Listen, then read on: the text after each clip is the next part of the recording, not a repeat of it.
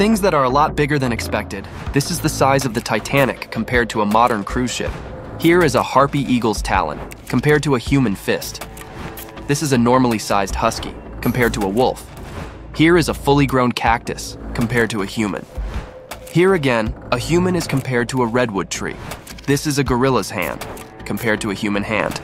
Here is a grizzly bear's paw compared to a human. This is the size of a blue whale's heart. A human could fit inside its artery.